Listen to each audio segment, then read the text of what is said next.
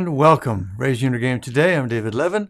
This is our Tuesday episode, so it's sports and sports parenting. Friday is for all things inner game. So today we're talking about the inner life of teenage athletes and how to help lift some of the burden they carry. You know, it is hard enough just being a teenager in the first place. maybe you remember, and I think maybe now more than ever you know, you're starting to come into your own as an adult, but just have no idea really who you are yet. Uh, so many things are changing in all areas physically, emotionally, mentally, with your responsibilities and your relationships. I was looking at a family picture from just a year ago, literally one year ago, like this week, and our son looks completely different. The difference from 16 to 17 is like from 12 to 20, and that's just physically. It's crazy. But then you add on top of that the extra demands of being an athlete the time, the work, the physical effort, the pressure to perform, keep their grades up. It's pretty remarkable what it takes for kids to be in sports. And of course, they want to do it. We assume, right? We're not forcing them, I hope. But still, it's a lot. And really, it's more than we want for them as parents, more of a load than we want them to carry. And I actually know something about this that most parents don't because kids tend to keep it to themselves. And that is that they're carrying a lot of stress and worry.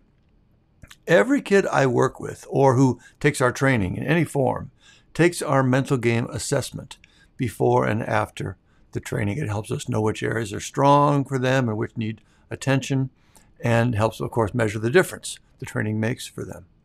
And there is a very consistent pattern in the pre training assessment, which is happiness score is high. Yep, I'm pretty happy. But the freedom from worry score, along with the other stress indicators, is low, like you know, one to three out of 12, very low, and just a huge disconnect between their happiness score and their stress and worry score. And that's why parents and coaches don't know about it we see their happiness score basically in who they are day to day. And we're all, you know, pretty much happy people.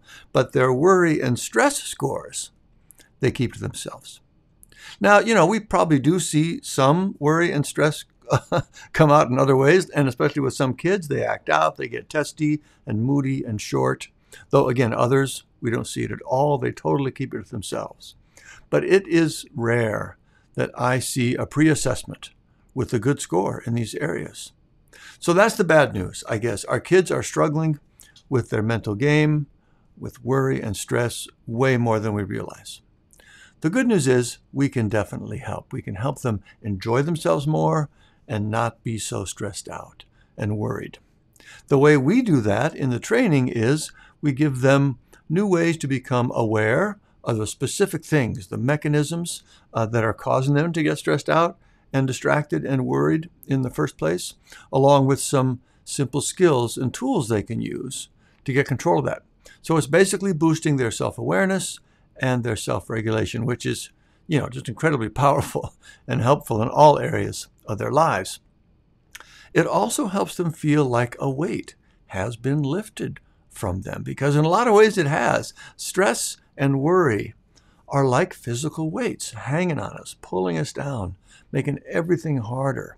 So when we learn to free ourselves from those, it's almost like like the sun coming out on a cloudy day. You just feel better and stronger and lighter, more positive and capable. Life just feels more fun in a lot of ways. And that is exactly what we want our kids to feel when they're competing. I mean, it's, it's kind of obvious, but sports are supposed to be fun right? It is a game, after all, and that's almost certainly why they got into it in the first place.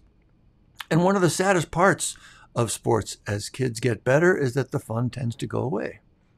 I was talking with another kid not long ago, like a couple months ago maybe, hockey player, junior in high school, and he mentioned how much fun he has in practice, but that he's super stressed out in games. And it occurred to me to say, what difference would it make if you could have as much fun on game day as you had in practice. And you could see it was sort of a shocking question for him. There was this long pause. He thought about it and he finally said, That changed everything. I mean, I would play at a completely different level. So I would suggest, and I actually think this can be very powerful, to have your child really think about this, to pay some deep attention to the details of what they feel like when they're having fun. How do they move? What's their breathing like? What are they looking at? Where's their attention? What are they thinking about?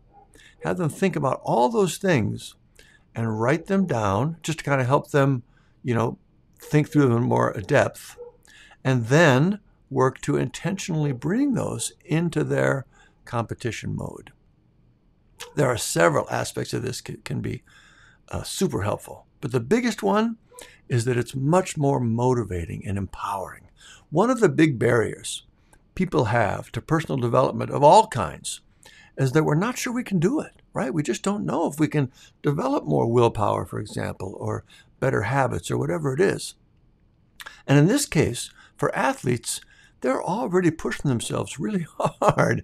If they discover or you know feel that they need to up their game further, well, it's pretty natural to think, I'm not sure I can do it. I'm not sure there's more there, right? That's a real concern. But this focus on the fun experience helps them break through that. So here's what I mean. Remember, our hockey player said, if I had as much fun on game day as I do in practice, I would play at a whole new level, right? What does that tell us? He doesn't have to create and develop and discover some new level of performance. He's already at that level, just not on game day.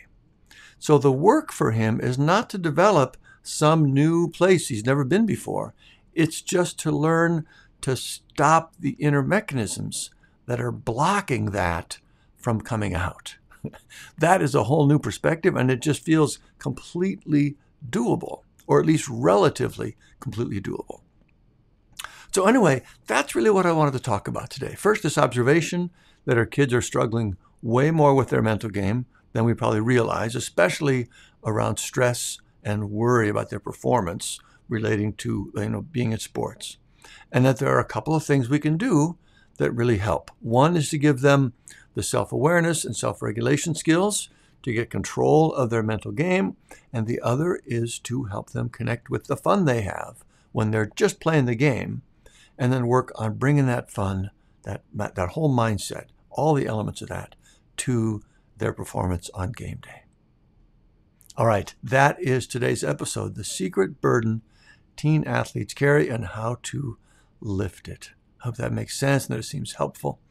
If you have teenagers in sports, and I'm assuming a lot of you do if you're listening to this one, please do check out our mental game starter kit. It's a great set of resources to help you start boosting your child's mental game, and especially the mental game assessment I mentioned. It's part of the kit. So have your child take that assessment.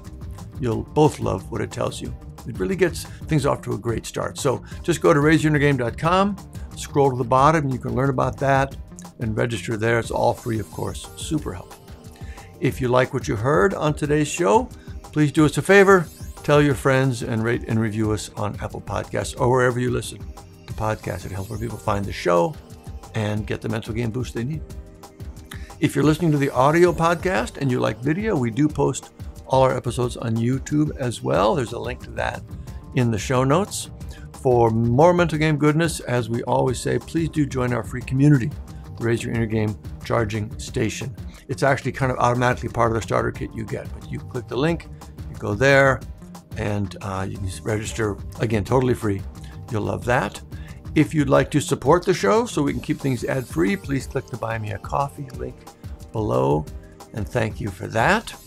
And finally, we will close as uh, frequently we do with Steve Prefontaine, the legendary long distance runner, and his quote from the end of the Raise Your Inner Game book To give anything less than your best is to sacrifice your gift. You don't want to do that. That's what we're doing, folks. We are working to be our best and to help our kids be their best. It's the gift that keeps on giving, and the world needs as much of it as it can get. So, Keep up the good work, and we'll see you next time.